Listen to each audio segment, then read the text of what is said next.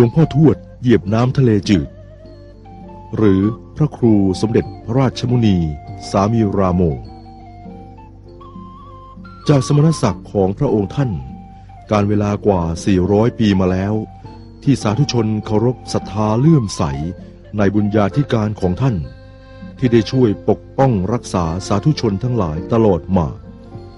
จนเป็นที่ร่ำลือของพุทธศาสนิกชนทั่วไป จึงขอรวบรวมชีวประวัติของท่านไว้ เพื่อเป็นวิทยาทานสืบสารตำนานอันศักดิ์สิทธิ์ของท่าน ไว้ในชีวประวัติหลวงปู่ทวดเหยียบน้ำทะเลจืด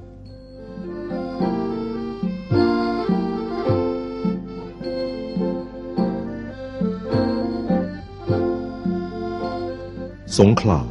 ในปัจจุบันนี้ ซึ่งในอดีตการเรียกกันว่า เมืองสถิงพระ ตัวเมืองตั้งอยู่ที่อำเภอสถิงพระในปัจจุบัน เหตุเพราะการเวลาในอดีตมีพวกพ่อค้าวานิชชาวต่างชาติ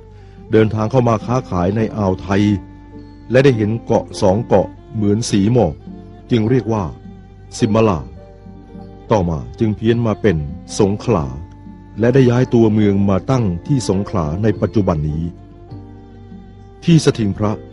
เป็นที่ก่อกำเนิดของยอดอริยสงฆ์ จากคำบอกเล่าของผู้ที่มีศรัทธาต่อองค์ท่าน เมื่อประมาณ 400 กว่าปีที่แล้ว ที่เมืองสถิง เป็นที่ก่อกำเนิดของหลวงปู่ทวด ท่านเกิดที่บ้านเรียบตำบลดีหลวงอำเภอสถิงพระจังหวัดสงขลา ณที่นี่คือบ้านเกิดของท่าน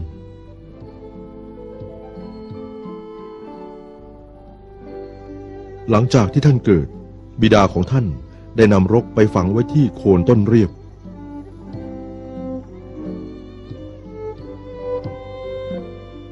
ต่อมาสถานที่แห่งนี้เป็นที่เคารพบูชากันจนถึงปัจจุบัน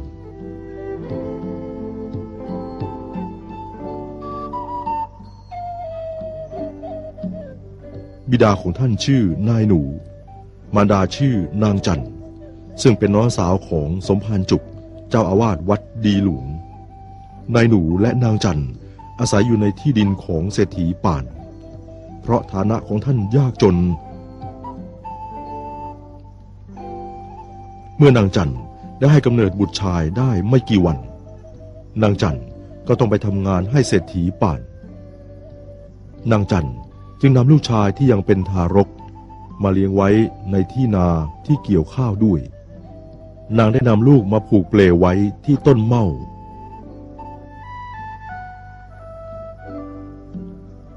และเมื่อได้เวลาพัก นางก็มาเพื่อจะให้นมลูก แต่นางก็ต้องตกใจ เมื่อพบว่าที่เปลของลูกน้อยมีงูใหญ่มาพันอยู่รอบๆ นางตกใจ จึงคิดว่าลูกจะมีอันตรายจึงร้องให้คนช่วย แต่เมื่อเข้าไปดูใกล้ ๆ นางก็พบว่าลูกน้อยไม่ได้เป็นอะไร และที่บนตัวของลูกน้อย มีลูกแก้ววางอยู่ และงูใหญ่ก็ไม่ได้ทำอะไรแก่ลูกชายของนาง หลังจากนั้น นางจึงนำข้าวตอก ดอกไม้และรวงข้าวมาแทนทูบบูชา เพื่อให้งูใหญ่จากไป เพื่อนางจะได้ให้นมลูก เมื่องูใหญ่จากไปแล้ว นางและเพื่อนบ้านพากันเข้าไปดู พวกเพื่อนบ้านพากันเล่าขานรู้ไปถึงเศรษฐีป่านเจ้าของที่นา เศรษฐีป่านจึงมาขอลูกแก้วจากนางจันทร์แต่ก็ต้องเอามาคืน เพราะพบแต่เรื่องวิบัติ ต่อมานางจันทร์และนายหนู ได้นำลูกชายมาฝากไว้กับอาจารย์จวงแห่งวัดดีหลวง ในเวลาต่อมา ได้บรรพชาเป็นสมเณรศึกษาเล่าเรียนกับอาจารย์จวง และหลังจากนั้นได้มาศึกษาทำต่อที่วัดศรีหยัง อาจารย์จวงเห็นในความฉลาดของสมเณรปู่ เหตุที่ได้ชื่อว่าปูก็เพราะว่า ตอนที่ยังเล็กมีความรวดเร็วดุดปูลง ท่านจึงได้ชื่อว่าปู สมเณรปู่ ศึกษาเล่าเรียนพระอภิธรรมด้วยความเอาใจใส่ อุตสาหะ ทั้งกิริยามารยาทก็เรียบร้อย เป็นที่รักใคร่ของอาจารย์ที่วัดศรีหยัง แต่การก่อนวัดนี้เรียกกันว่า วัดสิดูหยัง ตั้งอยู่ที่ตำบลตรุอำเภอระโนดจังหวัดสงขลาสมณเณรปู่มาศึกษาที่วัดศรีหยังกับพระครูธรรมรังสี ศึกษาคำบาลี พระไตรปิฎกเพื่อให้ได้แตกฉาน เมื่อศึกษาขั้นมูลกระจายจนจบที่วัดสีหยางแล้ว ท่านอาจารย์จวงก็ได้ให้ไปศึกษาต่อที่นครศรีธรรมราช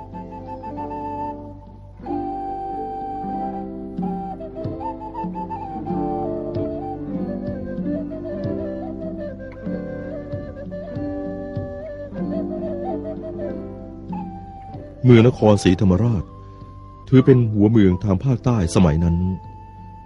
มีคณะสงฆ์ที่มาจากกรุงศรีอยุธยามาบริหารการศาสนาของหัวเมืองทางใต้ สมณเณรปู่มาศึกษาจนครบอายุ 20 ปีบริบูรณ์ จึงทำพิธีการบวชที่คลองท่าแพ หรือที่วัดท่าแพในปัจจุบัน พิธีอุปสมบทของท่านทำกันในคลอง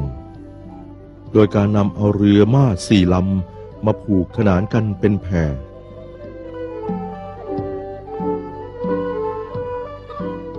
เรือแต่ละลำทำมาจากไม้ยางหนึ่งลำ ไม้ตะเคียนหนึ่งลำ ไม้ขนุนหนึ่งลำ ไม้พยอมหนึ่งลำ เพื่อนำมาผูกกันเป็นแพ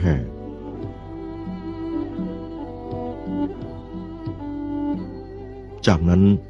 จึงทำการประกอบพิธีอุปสมบทกันบนแพ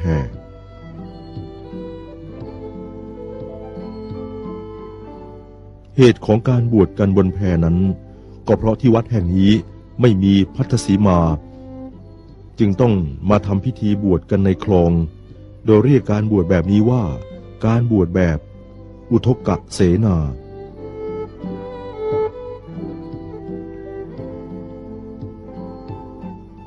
เมื่อท่านได้บวชเป็นภิกษุแล้ว ได้ฉายาว่า มุนีราโม แต่ชาวบ้านทั้งหลาย เรียกพระที่บวชใหม่ว่าสามี ดังนั้นชาวบ้านจึงเรียกท่านว่า สามีราโม จากนั้น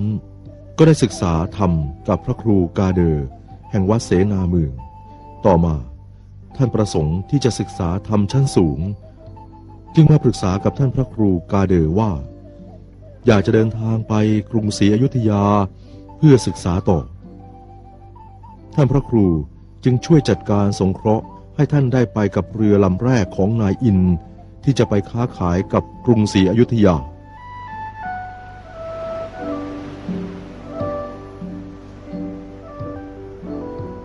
ด้วยความเกรงใจท่านพระครูกาเดือนายอินจึงรับภิกษุรามโมไปด้วย จากนั้น ก็พากันเดินทางมุ่งหน้าไปยังกรุงศรีอยุธยา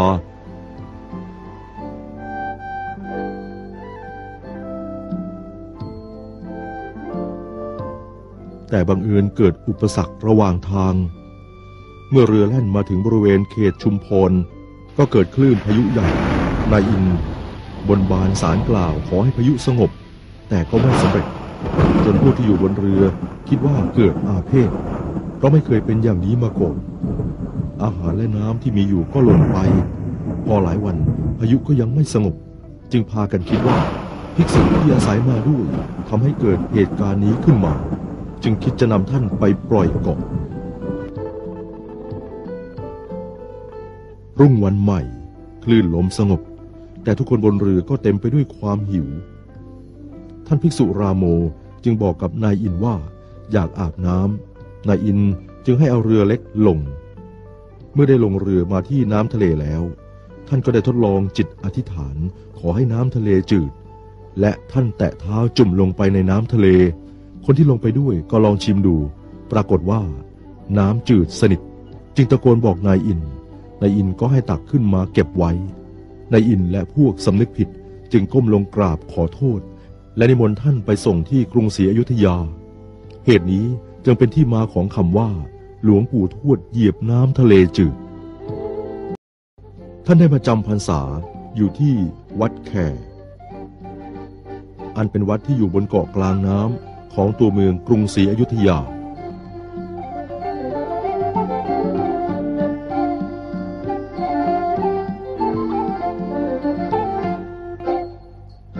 จากการเวลาที่ผ่านมานี้สันนิษฐานจากคำบอกเล่า และจากหลักฐานบางส่วนว่า เกิดขึ้นระหว่างปลายสมัยสมเด็จพระนเรศวรมหาราช และพระเอกาทศรถต่อมาจนถึงการปกครองของพระมหินทราธิราช เมื่อท่านลงจากเรือสำเภาที่มีนายจันลูกเรือของนายอินตามมาเป็นสิทธิอุปถากรับใช้ท่าน ท่านสมภารวัดแข ได้ให้ความอนุเคราะห์ท่านเป็นอย่างดี จากนั้นท่านได้ศึกษาธรรมจากเกจิอาจารย์ เพื่อให้รู้แจ้งเห็นจริงด้วยความมานะ ความภาคเพียร เพราะถือว่า โชคดีที่ได้มาศึกษาธรรมในเมืองหลวง ท่านได้ศึกษาธรรมจากพระราชาเถระ อบรมศึกษาพระอภิธรรมชั้นสูง ฝึกจิต เอาใจใส่ ตามคำสั่งสอน จนสำเร็จพระไตรปิฎกสมความปรารถนาที่ได้เดินทางมาด้วยระยะทางอันยาวไกล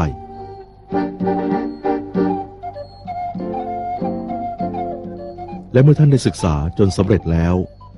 ท่านก็ได้หาวัดที่สงบ เพื่อฝึกจิตสมาธิทำวิปัสสนากรรมฐาน เพื่อจะได้ทุดงต่อไปตามอรัญญวาสี โดยท่านได้ไปจำพรรษาอยู่นอกเมือง อันเป็นสถานที่สงบและหาความวิเวก